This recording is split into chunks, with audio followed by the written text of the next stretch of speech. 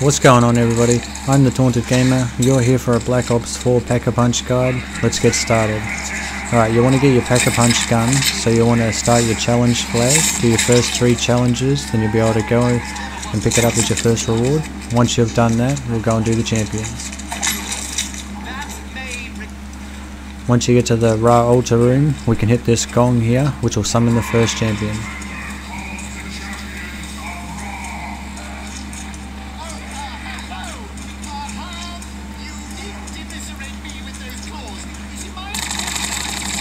This time we've got a Brawler champion.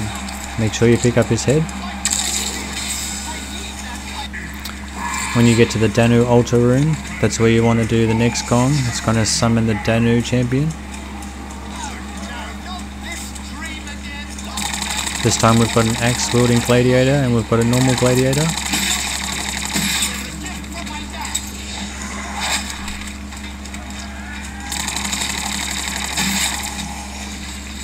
Alright, once you take care of these guys, make sure you pick up the head and we'll move on to the next one. Once you're in the Zeus altar room, hit that gong again and we'll summon the next champion.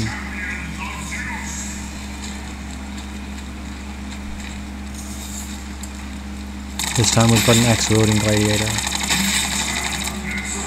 Go ahead and pick up his head. When you get to the Odin altar room, we've got the last gong to hit for the last champion. This time it happens to be tigers.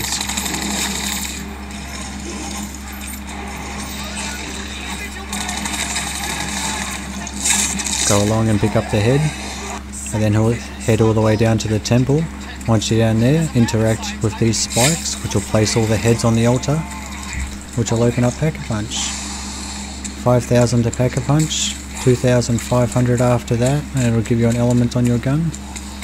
Keep Pack-a-Punching until it says that it cost 1500 and then you know that your gun is fully powered up.